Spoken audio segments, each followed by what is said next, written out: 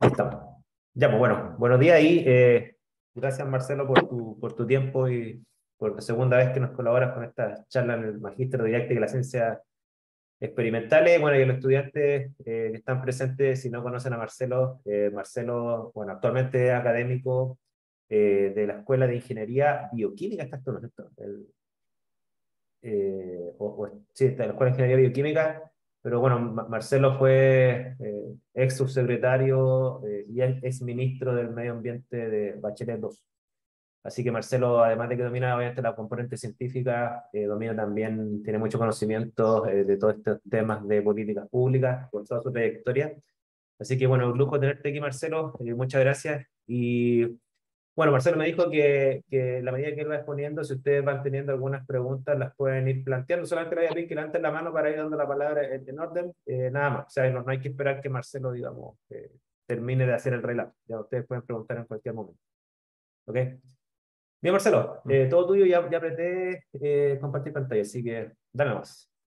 Perfecto, sí voy a partir al revés. Simplemente hago una, tengo una charla, una charla que, que puede ser largo o corta de tema de descarbonización, pero eh, pensaba que sería bueno conversar sobre, sobre algo más específico que tiene que ver con, eh, con el tema del metano, porque tiene una, eh, es, mucho más científico en el sentido de que le va, le va a hacer mucho sentido lo que les voy a decir en términos generales para poder ver por qué estamos dedicándonos a eso. En la PUCB, para los que no lo saben, hoy día alberga una filantropía grande de, de, en, torno al, tema de la mitigación de metano, en donde también esperamos que haya cierto vínculo científico, tenemos financiamiento para postdoctorado, eh, cosas por el estilo, entonces, para, y, la y la razón por la cual está en la PUCB no solamente es que yo soy el exministro y que querían reclutar estas filantropías para esto, sino que eh, la PUCB tiene una eh, historia de innovación y, estar adelantado a los tiempos en cuanto a lo que fue el saneamiento ambiental en Chile, la gestión de residuos, tratamiento de agua, y eh, me da la impresión de que tenemos las herramientas para poder eh, dar los pasos siguientes, que tienen que ver con temas de mm, producción de ganado, de menores emisiones, entre otras cosas. Entonces, el, el, hay varios gases de efecto invernadero, ¿no es cierto? El metano es uno de ellos. El metano tiene algo de, negativo, que es que básicamente, a diferencia de otros combustibles fósiles que, que vienen con una doble emisión, una emisión de CO2 como el carbón, pero que al mismo tiempo tiene azufre. Y ese azufre, si bien en la contaminación atmosférica se, puede, se ha mitigado todo, el azufre eh, cuando ya cuando es emitido en una chimenea, cuando no es necesariamente respirado por nadie, tiene un efecto de enfriamiento y cambio de, las propiedades ópticas de las nubes que causa que una emisión de carbón tiene una parte que calienta el, el carbón, estoy hablando carbón mineral para generación eléctrica, calienta la atmósfera, pero al mismo tiempo también la enfría con este azufre. En cambio, la generación de gas natural y la emisión de metano es enteramente eh, calentadora. Entonces, por lo tanto, eh, lo que algunos eh, científicos han querido decir es que casi la mitad del calentamiento que hemos percibido en estas últimas dos décadas se debe fundamentalmente a este metano. ¿ya? El metano em, es 86, lo, voy a hacer otra cuestión para atrás para poder equiparar el calentamiento de cada, básicamente de, la capacidad de calentamiento de cada molécula, eh, hay un, concepto que se llama el potencial de calentamiento global, o en inglés GWP, Global Warming Potential. Y eh, para poder comparar eh, el, efecto de calentamiento de, de, especies que son de distinta duración en su vida atmosférica, como el caso del metano, que dura en torno a 12 años, o el CO2 que supera los 100 años, es que se ha empezado a comparar el, el, el, efecto de calentamiento en distintos horizontes de tiempo. Y entonces se, se decidió, y que lo que fue una decisión más bien de política que más que de ciencia, de que la comparación era en los próximos 100 años, ¿ya? Y en ese contexto, el metano es 28 veces más potente que el CO2 en 100 años. Pero cuando tú piensas en, como la vida atmosférica es tan corta y su, su, daño lo causa en tan poco tiempo, en 12 años y no más, entonces el calentamiento en 20 años pareciera ser mucho más, más eh, sensible y en ese contexto 86 veces más potente. Eh, entonces, eso determina de que si nosotros queremos evitar el calentamiento dentro de nuestras vidas, de, nuestras vidas diciendo, bueno, en el caso mío, egoístamente antes del 2050, eh, eh, entonces el mitigar metano reduce tres veces más temperatura. Esa es la, realidad. Si el mundo entero se pone de acuerdo y cumple en todas sus promesas, va a bajar en la temperatura en menos de una décima de grado al 2050. En cambio, si tú bajas eso más metano, serían 0.3 décimas de grado. Y esa diferencia es fundamental para cumplir la meta del Acuerdo de París de 1,5 grados. Y me imagino que, bueno, quizás lo han visto o no, pero básicamente esta, esta meta del umbral de 1,5 grados tiene que ver con que por sobre esa temperatura se manifiestan una serie de procesos irreversibles de cambio climático que son eh, que, que, queremos evitar. Entre ellos, por ejemplo, en la zona central de, de Chile, eh, el derretimiento glaciar andino, que se profundiza mucho más eh, cuando la temperatura supera 1,5 grados. ¿Ya? Entonces, eso es más o menos el marco. ¿De dónde viene este metano? Bueno, punto, otra cuestión también que es importante, que Ustedes han visto la curva de Killing probablemente, que es la curva de CO2 histórica que el profesor Killing estableció en los años 50 en Mauna Loa, que es una curva de, eh, de la institución Scripps, de oceanográfica de Scripps, y podemos ver hoy día, y eso es lo que sale a veces, que hoy día están en torno a 420 ppm de CO2, y uno, algunos científicos medio ñoños, como yo, yo no caigo en eso, pero estoy tentado, eh, ponen en su nombre cuántos ppm hubo cuando uno nació. En vez de decir la edad, eh, uno dice básicamente, no sé, pues yo, yo personalmente creo que es 330 ppm cuando yo nací y en tanto en los 420. Hay, hay un alza en torno a 20 y tantos, 30 eh, y tantos por ciento. Que es terrible porque eso es lo que ha causado los cambios que hemos visto. Pero en el caso del metano, esto es aún más grave, más alto, más reciente, tres veces con respecto a época preindustriales. Estamos en torno a 1900 ppm de metano hoy día. Entonces, eh, lo que estamos haciendo hoy día, eh, eh, este Methane Hub se lanza por parte de la filantropía para apoyar a países que estén tomando acciones para mitigar metano. Son 240 millones de dólares que tenemos en tres años. Em, esto replica el esfuerzo que se realizó para la implementación del Acuerdo de Montreal, el Protocolo Montreal, en donde eh, se hicieron financiamientos filantrópicos para eh, implementar medidas para cambio refrigerante. En este caso es mucho más complejo el tema y por tanto el financiamiento es mayor. Eh, estamos en, la PUCB, pero tenemos oficinas en Copenhague, en, Los Ángeles, en Washington, en Ghana, ¿no es cierto?, en Senegal, en Nueva Zelanda, entre otros lados. Entonces acá está mi equipo. Este gallo, eh, por ejemplo, es mi, jefe de, orgánico y de, agricultura. Este gallo estaba, es un embajador, ex embajador eh, neozelandés que vive en Uruguay, que es especialista en temas de ganado eh, y cosas por el estilo. entonces, lo que hemos estado haciendo hasta ahora, por ejemplo, para poder ver lo que hemos entregado, le entregamos ayuda para los países, 30 países para que hagan planes de mitigación.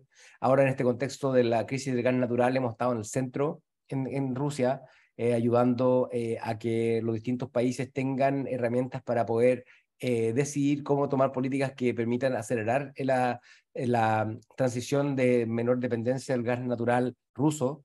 En, en, Chile y en Latinoamérica estamos ayudando a poder ampliar proyectos de mitigación de metano en un contexto de residuos orgánicos, que le voy a hablar un poco sobre eso. Eh, ya estamos trabajando en China, como le comentaba a Waldo, eh, con más de nueve ONGs para poder eh, financiar estudios que permitan entender cómo mitigar las emisiones de metano a través de, la, de lo que es la producción de carbón, donde quizás se pueden acordar de las películas o del dicho del canario en la mina de carbón, que era el que te determinaba que tenía ahí dentro de la mina subterránea, que cuando se moría era porque venía una, una cantidad de gas grisú que iba a causar una explosión posteriormente. Entonces hay, hay toda una historia con respecto a eso y estamos trabajando eh, eh, con el financiamiento de todas las grandes filantropías del mundo, eh, desde, desde, el Gates hasta, hasta Hewlett, hasta Bloomberg, todos los gallos climáticos, Grantham, que es un gallo bien choro, MacArthur, entre otros. Entonces, para poder hablarle de, de, de, dónde viene esta fuente, a nivel global, eh, hay, hay un, un, análisis que se hizo, se llama Global Methane Assessment, que pueden buscar y si quieren profundizar, pero hay varias cosas que se pueden determinar con respecto a las fuentes antropogénicas de metano. Punto uno, que viene fundamentalmente de la agricultura, de la energía, pero también de los residuos. Y cuando tú sumas los residuos, que son orgánicos muchas veces, em, y con la agricultura, te puedes dar cuenta que probablemente un 60% de todas las emisiones de metano que ocurren tienen que ver con un sistema alimentario que tiene falencia, eh, que pierde 30% de lo que produce, que mm, eh, no es capaz de alimentar a la gente en forma costo efectiva, que depende de los precios de los combustibles fósiles eh, y por tanto cuando hay una crisis como la que ocurre en Rusia, hay, una, hay un problema importante de, de sustentabilidad eh, financiera e inestabilidad económica, social que se da con respecto a esto.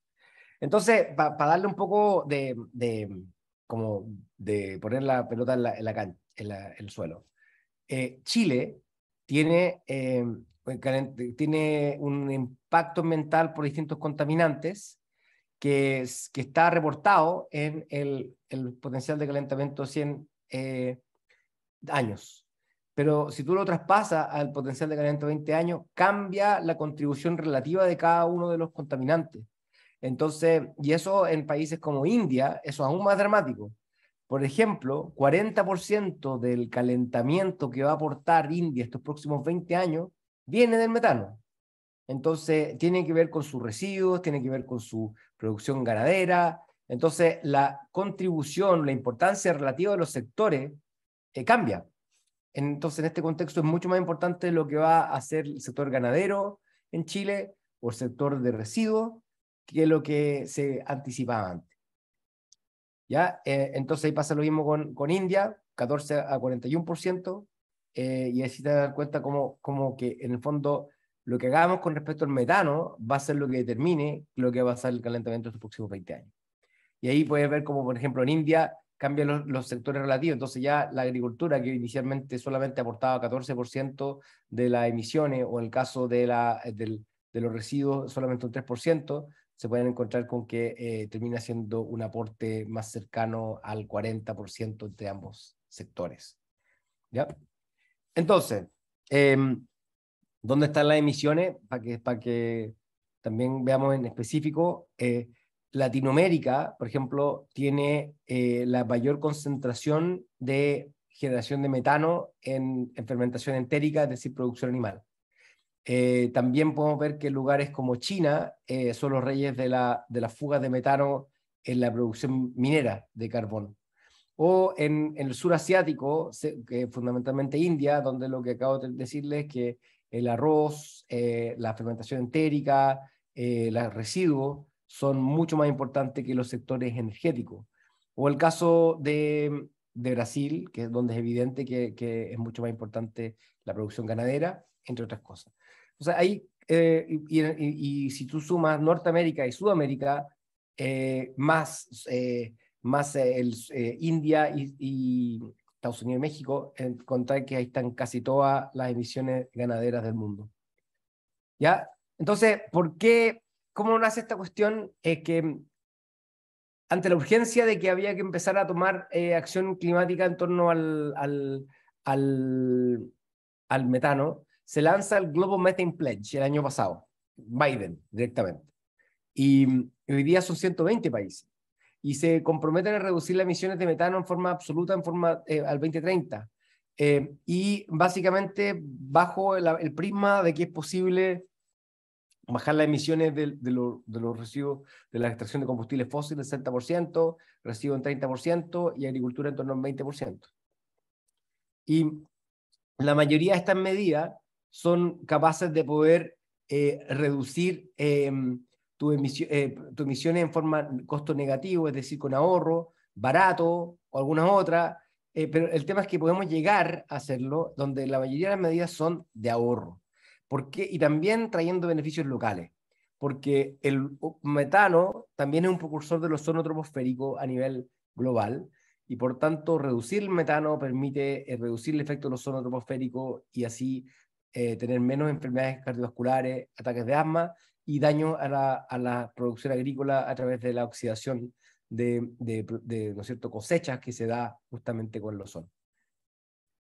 Eh, entonces acá están algunas medidas, como, como, este es un paper que muestra cómo las distintas medidas van mitigando y darse cuenta que acá no va a ser fácil metano. En general, acá aparecen algunas medidas de residuos sólidos, de distribución de gas natural, de extracción de petróleo, de minas abandonadas, minas que están operando, combustión de combustibles fósiles, evitar eh, quema agrícola, eh, producción ganadera, cerdo, vaca, entre otros. Y podemos ver que en general las medidas, esta es la, curva que se llama la curva MAC, o de, una curva de, abatimiento marginal, que para quienes no, saben qué es, básicamente el ahorro o gasto que requiere eh, una medida en particular con respecto a la mitigación.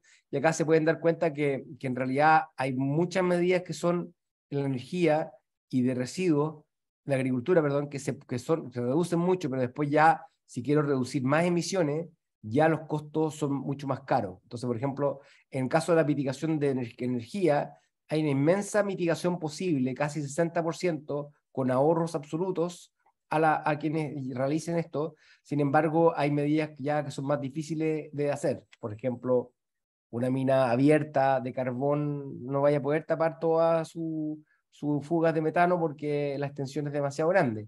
Eh, pero eh, en residuos, por ejemplo, hay muchas medidas que se pueden mitigar lograr en costo negativo. Ya. Y ahí eso tiene una, toda una cosa en distintas regiones, en donde, por ejemplo, el medio oeste, medio oeste que no tiene casi, no tiene, tiene menos eh, agricultura, tiene menos medidas o, y así. ¿ya? y otra cuestión que es importante tener en cuenta, que, que, que lo, lo mismo que les dije, que el petróleo y gas tienen una gran cantidad de medidas que son rentables. esta parte acá es que estas son medidas de mitigación económicamente eh, factibles y acá son técnicamente factibles y esto es lo residual. Lo que ocurre con el, con el tema agrícola es que solamente 2% de las medidas se terminan como baratas. Eh, solamente 30% de la mitigación se logra como técnicamente factible y en realidad gran parte de, la mitigación requerida no tiene solución tecnológica hoy día sobre la mesa. ¿Ya? Entonces, y, y por otro lado, hicimos un informe que analizaba dónde se estaba gastando el tema de cambio climático. Entonces, yo le acabo de decir a usted que, que eh, es súper rentable bajar las fugas de petróleo y gas. Y eso es porque efectivamente redireccionar esa fuga a procesamiento nuevo o vender ese producto eh, es rentable, pero no es más rentable que traer más petróleo. Entonces, lo que está ocurriendo hoy día es que solamente 2% del financiamiento climático se está yendo a la mitigación y solamente 1% a la energía. Acá pueden ver dónde se está gastando en mitigación de cambio climático por región y mm, eh, efectivamente no hay, no hay una alineación donde están las emisiones pero también donde están eh, las emisiones sectorialmente. Solamente 1% del financiamiento se va al tema fósil, es decir, las empresas públicas o privadas simplemente no están tapando la fuga y eso se puede ver por satélite. Eh, en cambio, hay un gran gasto en temas de residuos, pero en realidad tampoco es lo, lo, lo, que más emite. Entonces deberíamos tener algo más alineado hacia eso. Y dicho eso, y aún así, todo lo que estamos financiando está muy inferior a lo que requerimos hacer en, para poder llegar a una meta de, de, 2 grados, ni siquiera 1,5 grados. Entonces, estamos financiando en lugares malos, en los sectores que no corresponde, eh, y más encima eh, en forma insuficiente. Entonces, eh, acá hay algunas cosas que se pueden hacer. por ejemplo, la extracción de gas natural, tú puedes quemar esa con la antorcha o puedes poner algún tipo de eh, catalista que sea capaz de oxidar el metano eh, dentro de una mina, tener una, alguna cosa de autolimpieza interna eh, que permita transformar ese metano en CO2, o por ejemplo, monitorear la fuga de líneas de, distribución como las que vimos en Nord Stream, que causó una fuga importante en el norte de Europa, o recuperar las emisiones fugitivas pero también eh, esto se da en un contexto de que todo lo que hagamos con respecto a eso va a contribuir a la justicia ambiental, a la seguridad. no mucha gente tiene conciencia, pero hay, decenas de personas que mueren en la cercanía de tubería un poco segura de gas natural y petróleo en, en Nigeria y otros lugares porque se ponen a robar muchas veces esto o algunas veces simplemente están emplazados en lugares súper desagradables. También hay cosas que podemos ver. Perdón, Marcelo, ¿hay una pregunta? ¿Hay una pregunta de Amanda? Dale. Amanda. Disculpa, Marcelo, hola, mi nombre es Amanda, no sé si me veo por aquí, pero eh, usted acaba de mencionar que eh, el financiamiento es poco y que dentro de las medidas como que se podrían hacer está eh, las medidas que mencionó, ¿no es cierto? Pero ¿qué costo tienen esto? Porque, porque quizás, claro, se puede, se puede, puede ser una muy buena idea, pero ¿y los costos y el financiamiento para esto existe, está o, o son muy altos o son viables en nuestro país? Sí, o sea, en el caso, lo que yo me refiero tiene que ver fundamentalmente con la, con la, el sector energético de extracción de petróleo y por tanto, como no tenemos mucho de eso, quizás en ENAP, en algunos lugares podría ser relevante, eh, o en, terminales de gas natural, entre otras cosas. Eh, pero a lo que me refiero tiene que ver con que mm, no es que las medidas no sean rentables, pero quizás se pagan en cinco años, pero el análisis de decisión eh, muchas veces es inferior a eso, en un, un año, seis meses. Entonces, en el fondo, la, empresa, el costo oportunidad que tiene la empresa de decidir algo eh, eh, em, no, toma atención porque el horizonte con que evalúa los proyectos no captura todas esas ganancias que podrían tener. Entonces, ese cortoplacismo, que, que es parte fundamental de, la inestabilidad económica, a mi parecer, se da que, que tú tomas cosas como decisión para poder ganarte un bono quizás, para poder eh, reportar mejores ganancias, pero eso muchas veces está erosionando la capacidad de, de rentabilidad hacia adelante. ¿ya? Eso, eso me ha tocado muchas veces. Entonces, no es como que la cosa no... Entonces, como que mira muy largo plazo, muy corto plazo, y no piensa en lo otro. Entonces, la forma de hacerlo es una regulación obligatoria, es decir, eh, tú vas a tapar la fuga y te vamos a multar si es que no lo hace, o bien, en el caso de la regulación recientemente aprobada por Estados Unidos, en, en, en, la ley que sacó el presidente Biden, que se llama IRA, e IRA la ley de reducción de inflación, ese, ese proyecto tiene un una, una precio al carbono y por tanto eh, hay una multa por cada eh, tonelada de metano emitido, más de 2.000 dólares la tonelada. Entonces, si ven esa, esa fuga que pasó recientemente, eh, que fueron 77.000 toneladas, multiplican por 2.000, esa habría sido una multa de 200 millones de dólares a, a, Nord Stream por haber eh, causado esa fuga. Esas son las cosas que uno puede hacer. Puede integrarse al comercio internacional. Entonces, por ejemplo, puede hacer como que solamente se importe, y de eso quiere hacer la Unión Europea, solamente importar gas natural con menos fuga, entre otras cosas. Entonces, hay toda suerte de formas de presionar ese tipo de cuestión. Eh, Bruno. Hola, Marcelo, y buenos días. Eh, en relación a la misma pregunta, hoy en día la legislación que aplica el contexto latinoamericano y acá particularmente en Chile, teniendo en consideración que tú nos comentabas de que la mayor parte de la generación de este metano es de tipo como animal, como derivado de la, de la industria ganadera en Latinoamérica. Sí, bueno. Eso va a ser tremendamente difícil porque eh, no hay ninguna regulación, ningún país que quiera tomar ese tema. ¿ya? Entonces ahí hay que ser, no hay que ser, eh, hay que aprender de otras, de, de otras lecciones de, de, de otros sectores. Em, hoy día la Unión Europea está tratando de regular las emisiones de amoníaco eh, em, y la cantidad de, eh, de, estiércol que pueden aplicar los holandeses, por ejemplo, en superficie. Y entienden que, que em, y están limitando la cantidad de estiércol que pueden poner porque eso está matando los cursos de agua. ¿ya? Pero para, para darte cuenta un poco lo, lo sensible que es eh, sacaron al ministro holandés de Agricultura porque se puso muy duro con ellos y, porque, y, y, los trabajadores agrícolas son buenos para poder, no sé, pues como el caso de que se ha dado en Francia, llegan con unas camionadas de estiércol y las ponen en la plaza ahí mismo, como eh, tienen formas de presión bien dura. Entonces, eh, eh, no hay ningún lugar que sea fácil. imagínate en Estados Unidos, ni siquiera ni quieren hablar de regular emisiones de metano, el caso de Chile, eh, hay toda una lucha cultural que ustedes ya han visto eh, de los ganaderos que demandan a quienes venden carne que se vendan como carne, carne vegetal, que se puede utilizar la denominación de carne vegetal, eh, la leche, ¿no es cierto? Not, milk, que está enfrascado con, con, la leche hace rato, por mucho que digan que no es leche, eh, no les basta en cuanto a esta cuestión. Entonces hay toda una lucha cultural y eso va a obligar que tengamos que buscar otros caminos.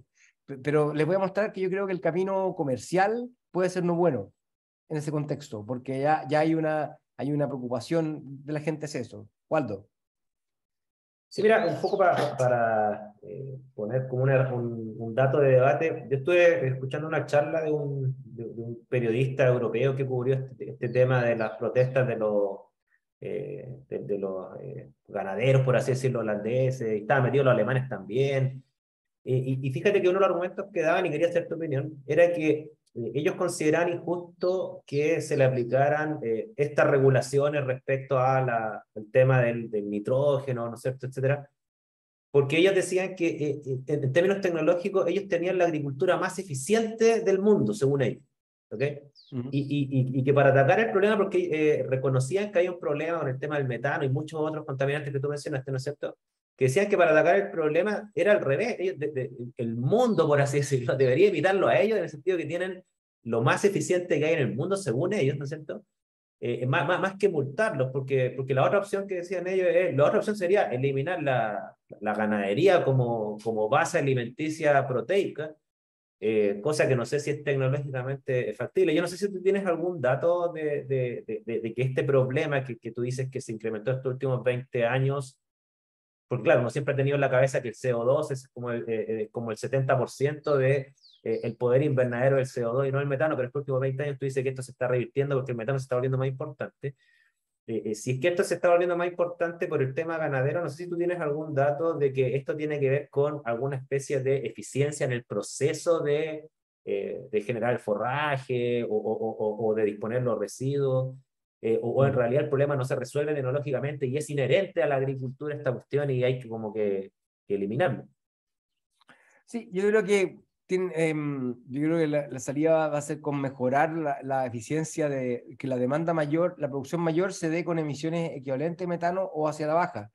Eh, y le, te voy a mostrar después que, que va bajando la, la, productividad de, de, leche con respecto a emisiones de metano es muy altamente variable a nivel global y lo que dice eh, en cierta parte es correcto. Una vaca en India emite ocho veces más metano por cantidad de leche eh, producida. Entonces, eh, pero por otro lado, los sistemas de producción intenso tampoco necesariamente son la solución. Entonces acaba de haber un balance en donde, donde es bien probable que tengamos eh, igual la, con un equilibrio en donde la carne de alta calidad sea lo que se apunte y, de, y, de, y sea una excepción más que una regla eh, en cuanto a, a, versus tener un, sistema en donde cada comida que comamos sea con carne, eh, ¿no es cierto? y efectivamente Chile y Argentina tienen consumos per cápita de carne roja que es por sobre la media global y, con alto nivel de obesidad también. Entonces, ¿cómo juntamos estas otras cosas también? voy, a, voy a eso también. Hay otra cosa que podemos hacer mucho, que es ver que eh, también el cuestionamiento de tener combustión dentro de una, de una casa. ¿ya? Hay fuga, eh, de, la, la, la, fuga, el olor a gas de la cocina, eh, es más, que, más común de lo que uno se piensa y eso se estima que se puede perder 1 hasta 3% de lo que tú estás consumiendo. Y eso tiene un impacto cuando tú tienes eh, compuestos orgánicos volátiles emitidos dentro del mismo gas natural.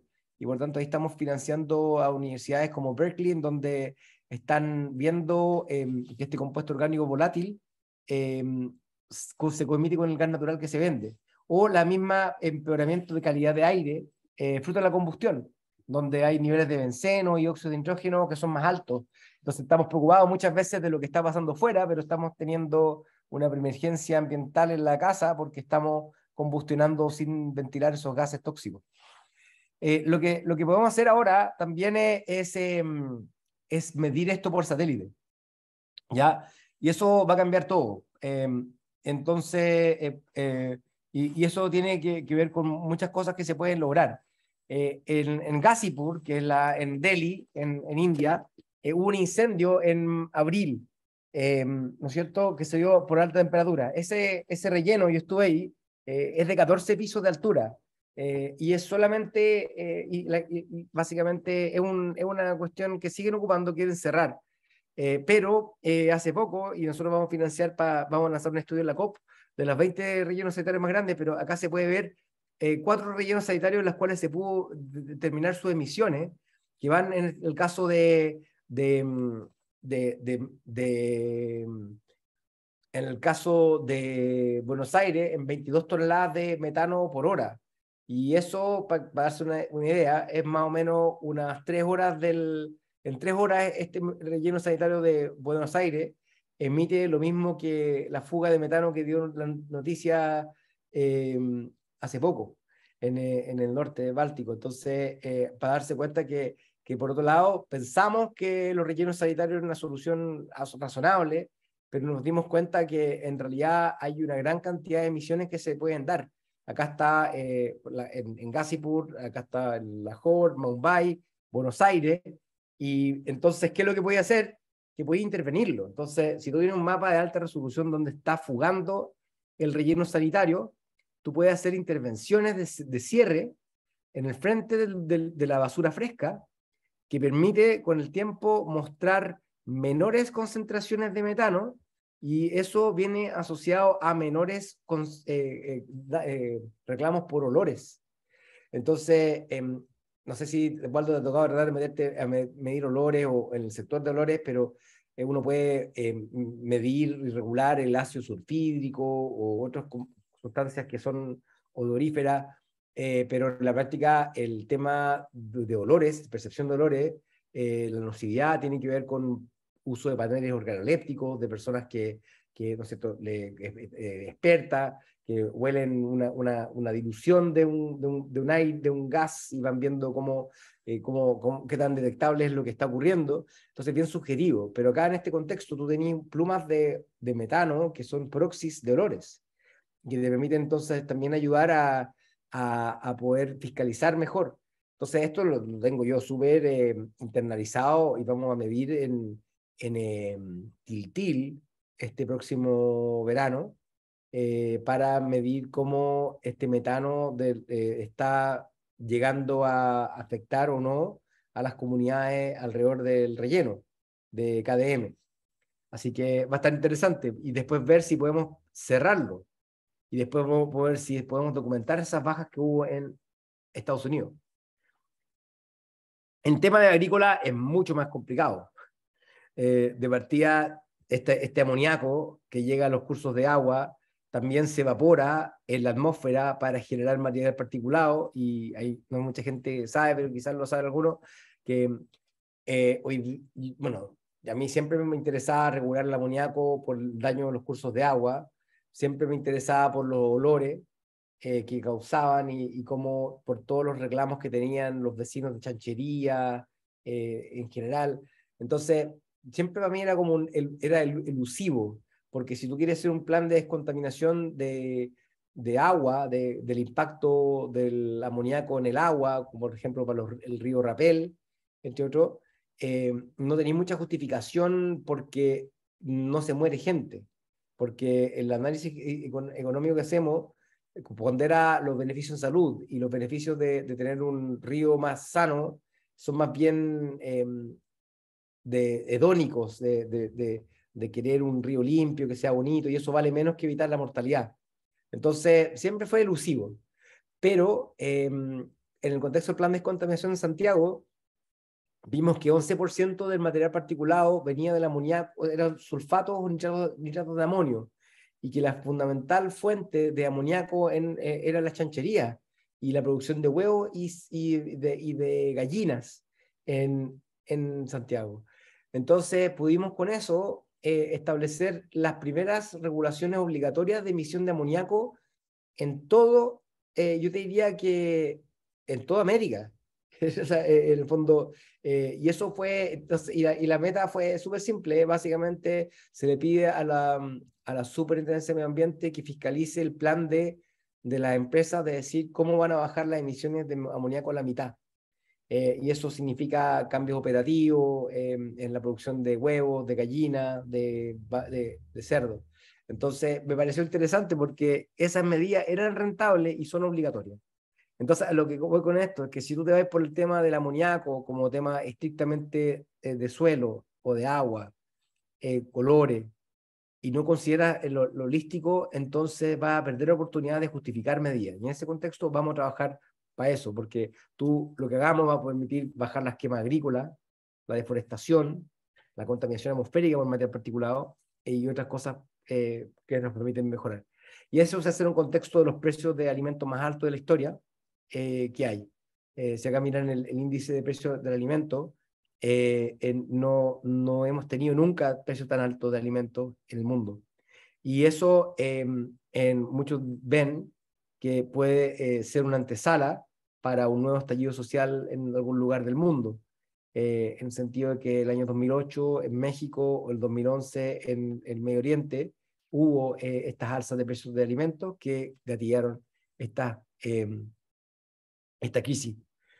Ya, y por eso se da más encima en un lugar de escasez hídrica. Acá está un análisis de, de Our, eh, Our World in Data, ¿no es cierto?, que muestra el terreno terrestre, el terreno habitable, 79%, 71% del, del planeta superficial es habitable, 50% de eso es agrícola, de eso, 77% se utiliza para, em, para ganado o sus alimentos em, y 83% de la proteína o de las calorías la entrega eh, este espacio pequeño que le estamos entregando a las cosechas.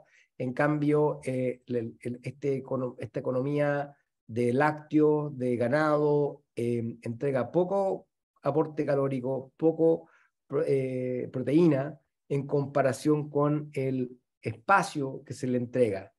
Entonces, ¿qué es lo que va a significar un, eh, alza de mm, consumo de carne que se da no por países como Chile, si ya no puede comer más carne, si, tiene que ver con países que van aumentando su ingreso y que están comprando lo que antes no compraban. Eso sucedió en China mucho. China se revirtió de un país que, que exportaba grano a un país que importa grano para poder satisfacer las demandas de producción eh, de, de, alimento eh, animal que, que, están tratando de hacer. Eh, también hay cosas raras que están pasando. por ejemplo, acá hay una encuesta de Ipsos que hicimos en Chile que muestra que, muestra que, que los menores de 30 años tienen un mucho mayor vínculo con el, las decisiones de ambientales y su alimentación. Entienden eso como una relación más estrecha. O el caso de, de que los países que están más dispuestos a reducir el consumo de carne son países emergentes eh, como México, Chile, incluso Argentina. Y estos cambios se han dado recientemente. En Argentina, en Chile, el alza de porcentaje de población dispuesta a comer menos carne o lácteos eh, por razones ambientales subió de 40 a 52% en dos años. Entonces, eh, a lo que veo es que hay un, hay un, en el sistema se viene un cambio, un quiebre, que ustedes probablemente ya están viendo en cierta forma, de ese mayor vínculo entre la alimentación y impacto. Acá pueden ver entonces, por ejemplo, los países que están más dispuestos a comer menos carne los menos dispuestos. Y los menos dispuestos son los que más comen carne. Pues. Muchas veces Estados Unidos, eh, Bélgica, eh, eh, Brasil, pero, hay más gente dispuesto que no dispuesto en, Brasil incluso. En el caso de Chile me sorprendió 53-24, Argentina 52-26. hay un cambio ahí, ¿ya? Y Perú, México, China, está súper interesante cómo está cambiando. Incluso el presidente de China, el Xi Jinping, se mandó un discurso en marzo donde hablaba de la importancia de tener dietas más saludables con, eh, basadas en plantas. Eh, es súper interesante porque entiende que los números simplemente no dan. No, no, no, dan que todos los chinos coman carne y que todos los indios, o sea, gracias a Dios que los indios son, son vegetarianos, la verdad. Eh, entonces, en ese contexto, comentaron tan las emisiones, no, no hay que engañarse, eh, son fundamentalmente ganados, gran parte fermentación entérica. En el caso de los cerdos, eh, la chancha, eh, la, el estiércol es más importante. ¿ya? Eh, Amanda? Dale. Disculpa, Marcelo, mira, Sí, no sé si se escucha bien, ¿sí? Sí. Ya. Marcelo, disculpa, mira, tú hablas de, mm, eh, bueno, de este tema de eh, que según la encuesta la tendencia es como a la alimentación más basada en plantas. Eh, y claramente esto sería como una disminución de metano y todo eso. Pero ¿no habría también un conflicto al llevar un país a una, a una industria más agrícola, por ejemplo, en la biodiversidad, el impacto en los suelos y todo eso? Porque, eh, por ejemplo, aquí en mi región, donde, en la región de Coquimbo, eh, muchas de zonas que fueron ocupadas por muchos años para la siembra de trigo y cosas así, se volvieron suelos infértiles. Mm. Y de ahí desapareció eh, la biodiversidad. Entonces, igual siento que esta tendencia de la alimentación eh, hacia los granos o hacia la producción agrícola, igual impacta negativamente y, lo otro es que, que, mencionabas tú anteriormente, la regulación legislativa y todo eso. ¿Cómo lo ves tú a, modo muy personal en Chile, pensando en que la mayoría de las empresas aquí, eh, ganaderas, agrícolas y, todas las empresas en general casi, eh, están viciadas por conflictos de intereses, colusiones, y siempre eh, se sabe como que le tratan de buscar la manera de saltarse la norma, de... Entonces, eh, y además de la, poca, de la poca disponibilidad de recursos que tienen, por ejemplo, los gobiernos locales y municipales. Eh, sabemos que, no quiero, no quiero llegar a ninguno de mis compañeros que son de Santiago, pero hay centralismo y eso es así, o sea, los recursos que llegan a nuestras regiones son menores. Y, por ejemplo, la idea del relleno sanitario, yo vivo a, a, un, a una distancia prudente de un relleno sanitario que es aquí en Coquimbo, el Panul, y esa cuestión está desbordada, pero los municipios no tienen recursos para, para, para medir eso. Mm.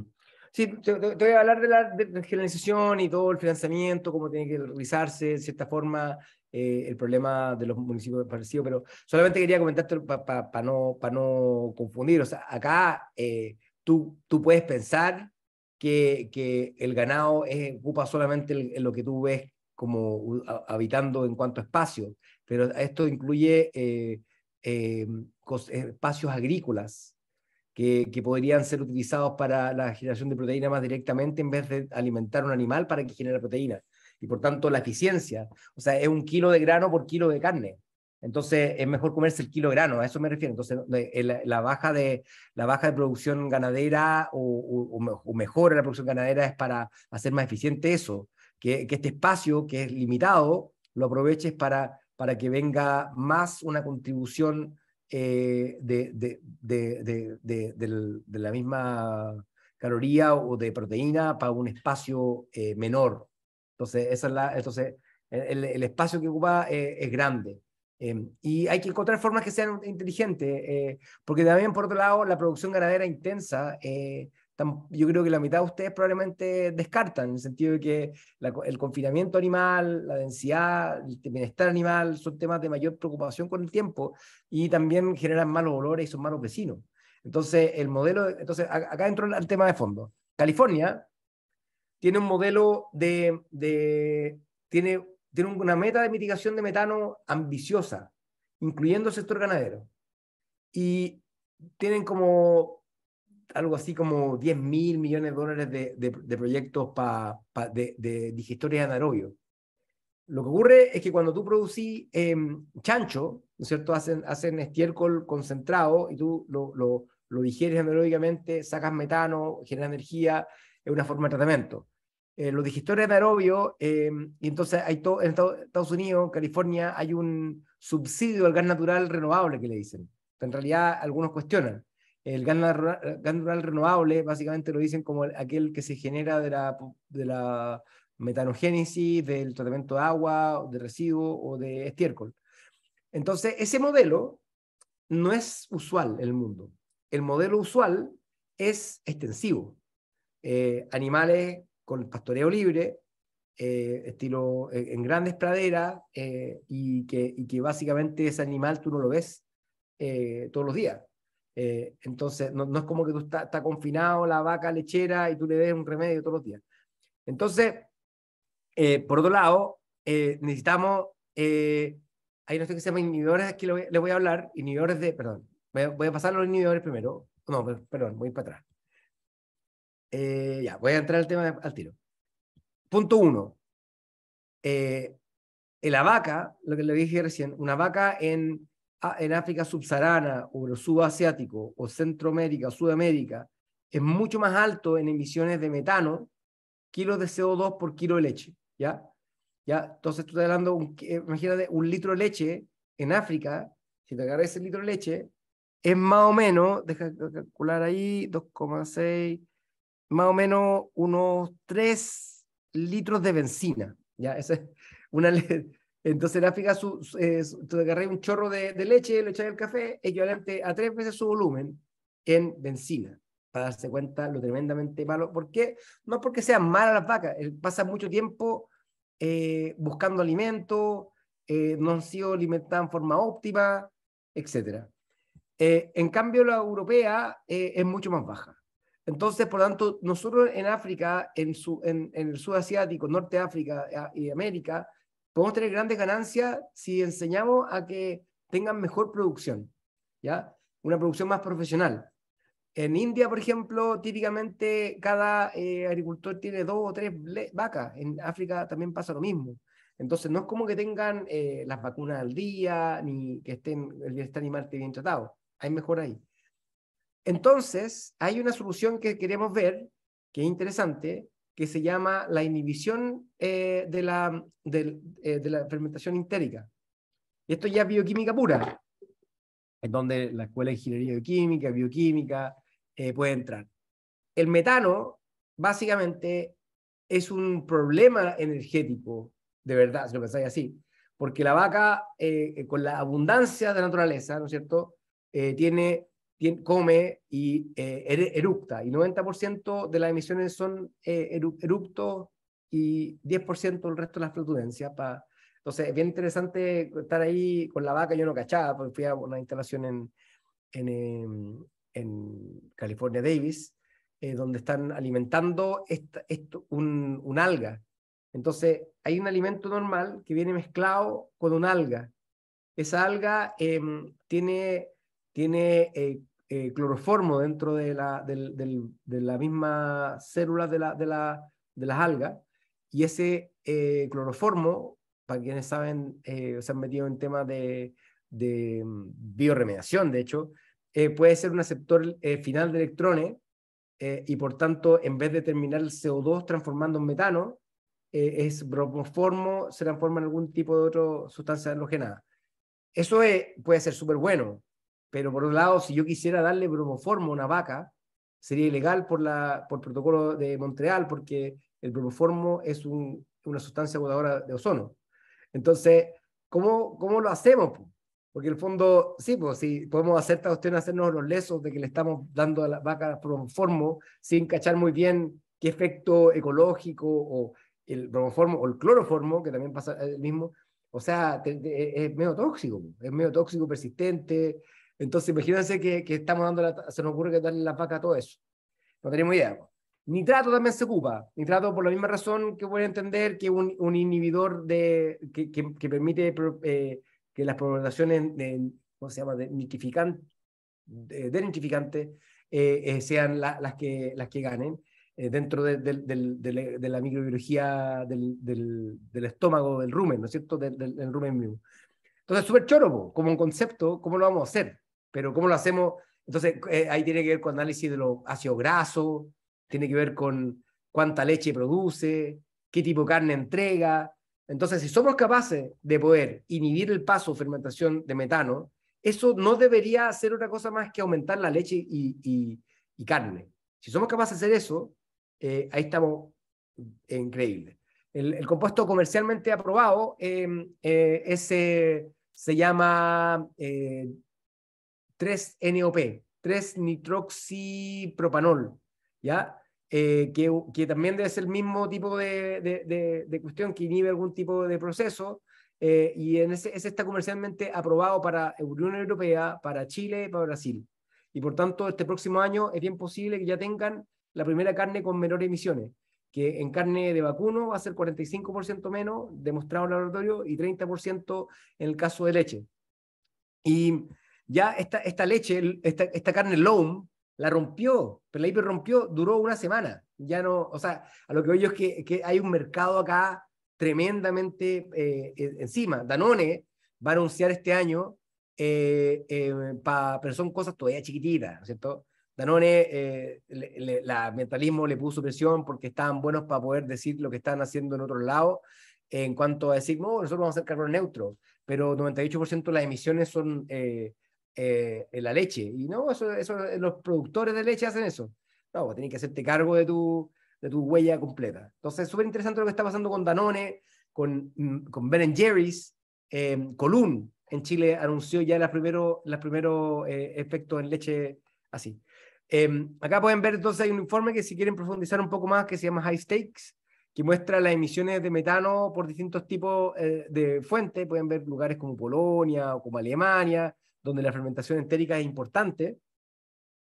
Pero, por ejemplo, hay cuestiones que hay que empezar a romper. Eh, mi jefe, mi, gente, por ejemplo, no le gusta hablar de consumir más saludable. ¿Ya? pero es una medida que reduce casi más que todas. O sea, e, esa es la, la, la, cuestión. O eh, podéis llegar a bajar eh, las emisiones dándole aditivo a, lo, a las vacas.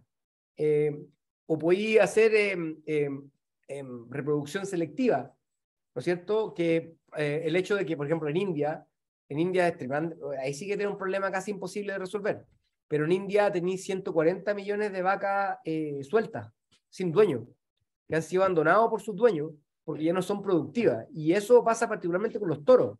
Como no los pueden matar para comer ni para poder sacarle eh, eh, cuero, y hay un tema religioso hoy día que ha sido em, eh, aprovechado por parte de, del nacionalismo hindú en contra de los musulmanes, en donde hay, corren rumores de que alguien está matando vacas y lo, y lo linchan. Hay toda una cuestión tremendamente complicada en India, que, está, que hay que meterse.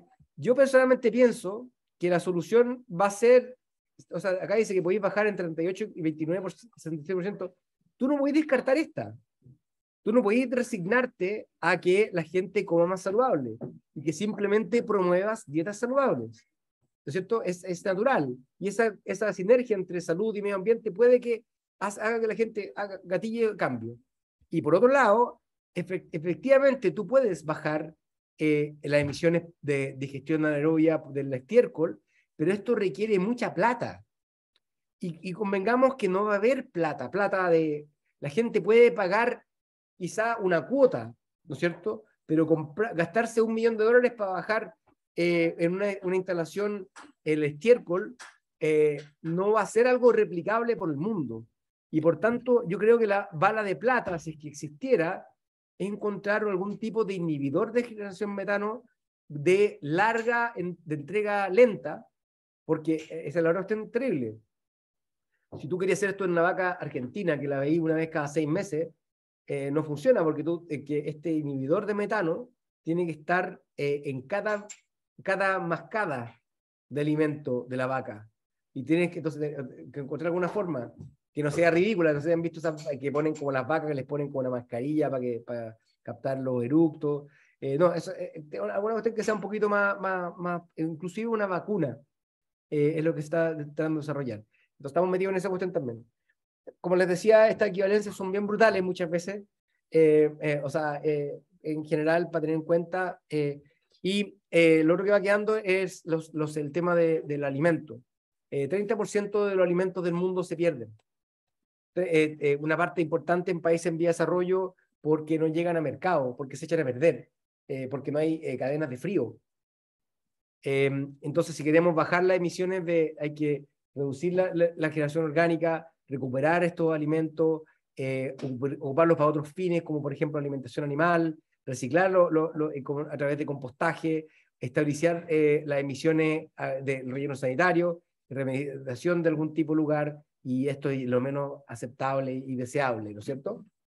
Eh, entonces, ahí la educación es importante, yo me metí harto en eso y me puse a hacer unos números. Pues. Esos números te muestran cosas eh, potentes, como la que estás viendo acá. Eh, que hay, siete, hay dos veces más eh, emisiones evitadas por compostar que dejar el auto en casa porque es tan intenso esta generación de metano en un hogar chileno. lo, lo, que hemos estado haciendo, bueno, hemos estado trabajando harto con varios gobiernos, hemos logrado mayor financiamiento hacia adelante, pero estamos avanzando súper bien, yo creo, en, este, esta agenda. Es súper entretenida en general. Eh, y bueno, ya, no, ya creo que no vale la pena entrar en el tema de la carbono neutralidad, que es otro tema que está altamente documentado. Así que si querían conversar eh, otras preguntas de ese tipo, por el momento, encantado de responder. Gracias, Marcelo. ¿qué más? Eh, ¿Alguna consulta? Yo tengo consulta, pero prefiero darle la prioridad a usted, porque siempre pregunto mucho. Yo tengo una pregunta. Sí. Eh, pero sí, como un poco, no tan, no tan en el detalle de, de, las medidas y las posibilidades, sino que pensándolo más bien desde nuestro rol de profesores, eh, como qué ideas, fuerza considera usted que eh, son importantes de, de, trabajar con nuestros estudiantes o cómo o a qué cosas se debiesen atener nuestros estudiantes y cómo nosotros podemos aportar para eso. Entonces, em, yo, yo, partía diciendo que la, la meta carbono neutralidad, que es la meta de Chile y el mundo, es una meta que nos va a acompañar por muchas décadas y eso va a afectar todas las carreras. Ya eh, tenemos que hacer todo lo que hacemos, pero con la mitad de emisiones al a 2030 y un 100% menos emisiones al 2050. Y eso cambia todo. Entonces, yo diría que no hay ninguna carrera que no tenga esa implicancia. Nosotros eh, en el Centro de Acción Climática, junto con el Centro Didáctica, hemos estado haciendo un diplomado para poder apoyar en la educación de acción climática eh, en el contexto del, del, curso de Ciencias para la Ciudadanía, que, eh, que, está en las bases curriculares para tercero y cuarto medio, que es un espacio de trabajo disciplinario súper interesante. Ahí hay una chance de poder colaborar que encuentro que es real y positiva. en el, el contexto de, de, de, también enseñar la pertinencia local y hacer esto con diagnósticos reales y objetivos. Eh, en calidad de aire, nosotros estamos trabajando con el Centro de Acción Climática entregándole monitores de, calidad de aire a, decenas de ciudades en Chile, eh, incluyendo la región de Paraíso, eh, lugares como Yayay, Catemu, Calera, Los Andes, Limache, Villevara, Quilpué, Curauma incluso eh, o Placilla y, ¿cómo se llama este lugar? Eh, Casablanca. Y estamos ahí, pero la gente toda parte echando la culpa a la industria, pero por los mismos perfiles de información que donde están ocurriendo las la, la horas de PIX y la estacionalidad, es claramente más, que, más tiene que ver con la leña. Entonces, en el fondo, eh, si tú tenías una, una, cosa como más bien, más bien de, de, querer culpar al resto, esa cuestión tenemos que empezar a romperla. Eh, con el agua, eh, no, son los paltos, no soy yo, no tengo por qué hacerme una ducha más corta. O con, entonces, en esta cuestión del alimento, de los residuos orgánicos, son decisiones personales que tomamos todos los días deliberadamente. Y en eso no podemos culpar al resto. Eh, eso, eso yo creo que es importante como cambiar un poco, porque siempre o es China, o es Estados Unidos, o son los cuicos, o es la industria, o son los que tienen auto, o son, pero nunca somos nosotros. Eso yo creo que es un cambio súper importante que se puede dar en ese contexto. ¿Más preguntas?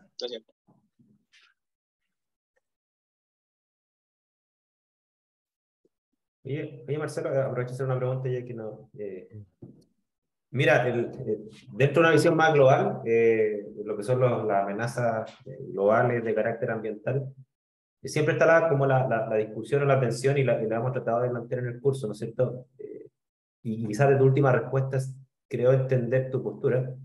Y es si, si esta, esta solución eh, es de carácter individual o es de carácter colectivo, ¿no es cierto? Y, y dentro de la, de hecho la vi una discusión de este filósofo bien famoso, el Slavoj Zizek, y, y, él estaba participando de esta discusión de, de, también de, eh, en términos generales, cómo es la forma de ir resolviendo esto, porque eh, un planteamiento dice, mira, la forma de poder llegar, por ejemplo, a, tener una agricultura y una ganadería de ciertas características, ¿no es cierto? Y el mismo gráfico que tú mostraste, de, que los países más pobres en el fondo son los que más emiten por litro de leche.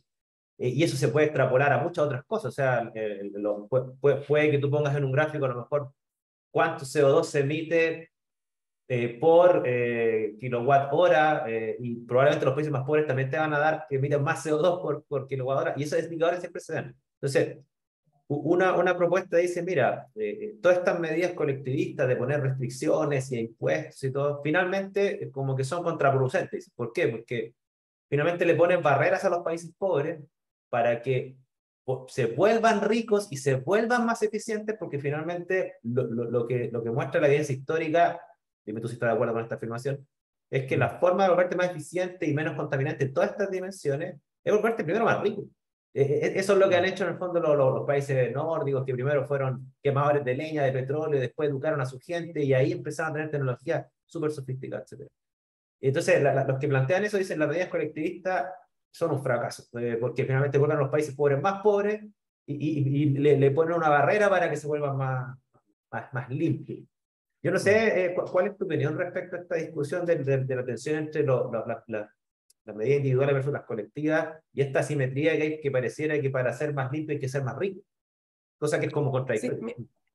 mira, el tema de la, de la, responsabilidad individual con respecto a estas decisiones es lo que permite para mí entender de que algunas medidas que son más estructurales sean adoptadas y apoyadas.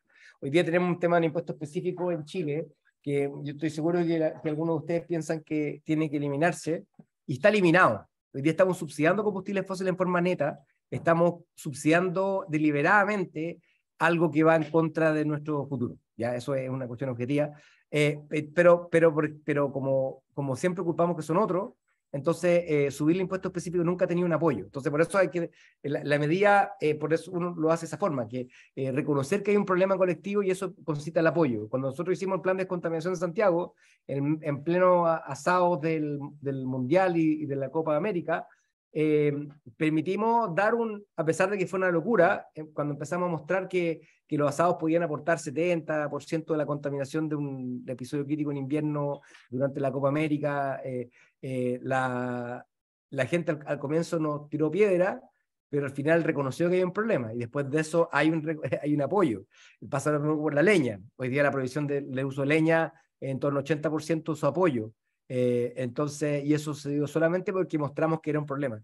Las soluciones de largo plazo no van a tener que ser eh, de, de, decisión de, de, voluntarismo de la gente, tiene que ser automática tiene que ser más barato contaminar menos. Y cualquier otra cosa que sea distinta a eso es simplemente wishful thinking.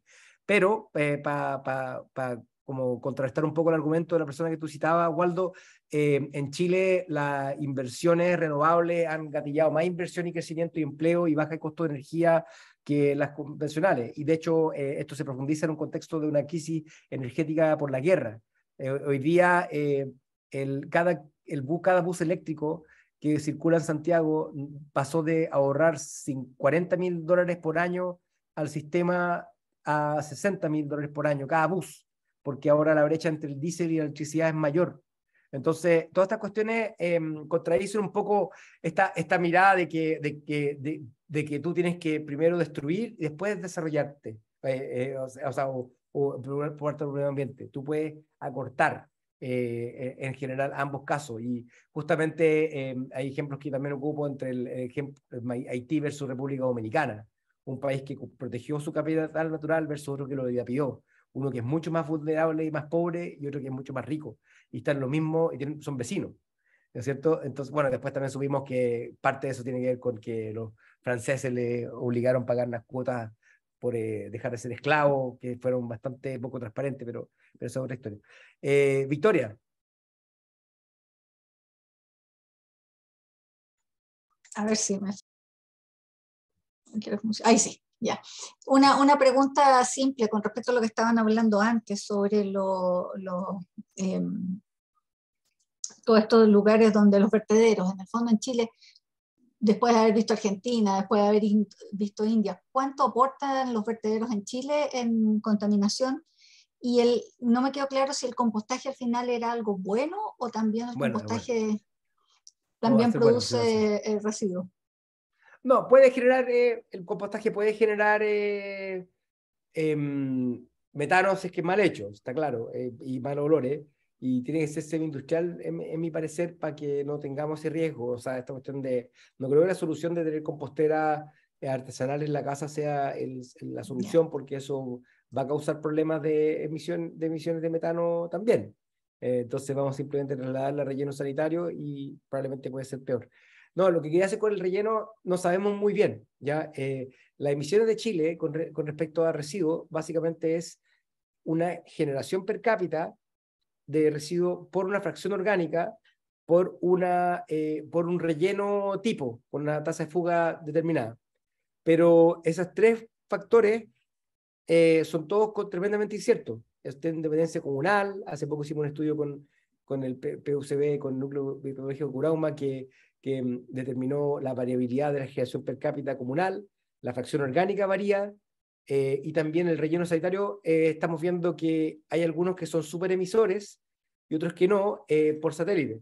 Y vamos a empezar a meternos a los rellenos de Chile para ver cuáles son los que pueden ser mejores. Pero evidentemente, por ejemplo, lo que hicimos en su momento, en el año 2000, 2010, de disponer, por ejemplo, los activados de, de, que queríamos secar, en vez de tratarlos bien en forma de aerobia, lo, empezamos a tirar ahí arriba Tiltil o cualquier otro lugar eso causó que hubiera una gran cantidad de metano descontrolada, problemas de estabilidad eh, física de los rellenos, hubo colapso, incendios de los rellenos, hubo muerte por maquinaria que se cayó encima de gente, eh, porque no la hicimos bien. Entonces, eh, yo creo que lo que viene por delante con relleno sanitario es medirlos todos, mejorarlos todos, utilizar estas herramientas centrales como herramientas también para fiscalización de emisiones, tener normas de emisión para esos rellenos sanitarios que, y, y con esta con estas herramientas satelitales vamos a poder eh, fiscalizar, sancionar el cumplimiento normativo de lo que establezcamos como normas de emisión. Bueno, estamos en la hora. Eh, sí, solamente un tema, me, quedó un tema que con la, con la banda lo respondí muy bien con respecto al financiamiento. Em, por ejemplo, eh, el, si tú le pones el precio de las emisiones al, al relleno sanitario, eso cambia cambia la ecuación entre qué es más barato relleno versus em, compostaje o otras soluciones. Entonces, eh, una cosa que estamos explorando ya dentro del apoyo a Chile con respecto a su mitigación en metano es que, por ejemplo, el impuesto verde, eh, que se puede compensar a través de inversiones en otros sectores, eh, si tú pones una compensación de CO2 por metano, puede ser bueno, porque entonces podría recibir financiamiento para poder eh, volcar la ecuación entre relleno sanitario y compostaje. Eh, o bien, más, más, más tarde, podríamos poner un impuesto verde a el sector. Eh, y, y, entonces, y, y por otro lado, hay que ver qué es lo que pasa, qué incentivos tiene un municipio. Un municipio, como tú me decías, Amanda, que tiene una vida útil de su relleno sanitario y no tiene dónde poner el nuevo, entonces el costo oportunidad de poder hacer una planta de compostaje es mucho más bajo y por tanto lo va a hacer. Eh, estamos viendo en rellenos como Santa Juana, en la octava región, que los gallos reciben el orgánico por separado y ocupa mucho menos espacio y es capaz de poder ser digerido 10 veces más rápido que si lo dejáis que se pudra en el relleno. Entonces, si, tú eres, si somos capaces de entender qué decisión económica está tomando un, un, un, un, un alcalde eh, o una, una región, entonces vamos a poder darlo vuelta. Pero si pensamos que por buena voluntad esta cuestión va a funcionar eh, no, no, eh, o, o, simplemente con la norma de emisión que no se va a cumplir nunca. Eh, ese va a ser el problema que tenemos que resolver. Entonces, entender que, cómo le aprieta, poner los puntos de presión para que, para que tengamos los, los quiebres que requerimos para volcar entonces de gestión alta emisora como menor emisión. Gracias. Marcelo, disculpa, lo último, profe. ¿Y cómo, cómo lo ves tú este panorama a nivel Ahora, no, no persona a persona, porque esto, claro, nosotros podemos hacer un cambio como individuo, pero yo pienso, no sé, es que lo veo mucho en mi región. Por ejemplo, yo vivo en Coquimbo y el Valle de, del Elqui son predios y predios y predios de plantaciones de uva, de, y nadie regula porque no hay personas que puedan fiscalizar, por ejemplo, la quema, la producción de basura, eh, el uso de agroquímicos. Eh, o sea, puede existir una legislación al respecto, pero ¿quién fiscaliza? No, hay, hay los recursos para fiscalizar. Pero, hay, re poco, hay poco en general, el sector agrícola particularmente es un, poco regulado, hay que meterse más eh, también para evitar, pero, pero también por otro lado hay que tener en cuenta algo, que este es un problema que es más global, en el sentido que si hay 80% consumo agua doméstica agrícola en Chile, el problema global es 70, no es mucho, diferente. Entonces es un desafío que tenemos que tener en cuenta en general, pero yo creo que, que, esta agenda de metano te permite empezar a regular el sector agrícola eh, mejor y, y, y, que ellos mismos no vayan canibalizando sus propias capacidades de poder eh, desarrollar eh, su actividad en el futuro. ¿Mm? Ahora, ahora sí, igual. Las satelitales lo va a echar al agua a todos, pues nadie va a poder hacer cerveza. Estoy muy entretenido por eso, sí, exactamente. Oye, Marcelo, te pasaste. Muchas gracias por tu ¿Mm? presentación. Y también gracias a todos por su participación. Va a quedar el video disponible ahí. Si alguien se integró más tarde, pues va a poder repasar al principio lo que se hayan perdido. Así que gracias nuevamente, Marcelo. Y bueno, que te siga yendo bien ahí con tu, proyecto Global Metan Excelente, nos vemos. Suerte. Chao. chao, chao, suerte. Chao. Bueno, que estén bien. Eh, un solo aviso, eh, recuerden que el, este otro viernes es la visita a terreno eh, y en los respectivos paralelos tienen, todos tienen guías, pero guías que no son exactamente iguales, ¿no es cierto? Para que las vayan eh, repasando y, vayan orientando la visita que van a hacer. Les vamos a mandar información de la próxima semana a qué hora exactamente vamos a salir y a qué hora exactamente vamos a volver, pero la idea es, salir de Curauma para, para, para evitar, digamos, confusiones y también volver a Curabo. Ya, esa es un poco la, la, idea. Eh, ya pedimos el bus, me tienen que confirmar solamente eh, qué van a salir de donde nosotros queremos que salgan y, y, ahí con eso eh, estaríamos. Ya nos van a dar los datos del conductor y todo eso también por ¿Okay? Oiga, profe, eh, ya que la salida a terreno es un día especial,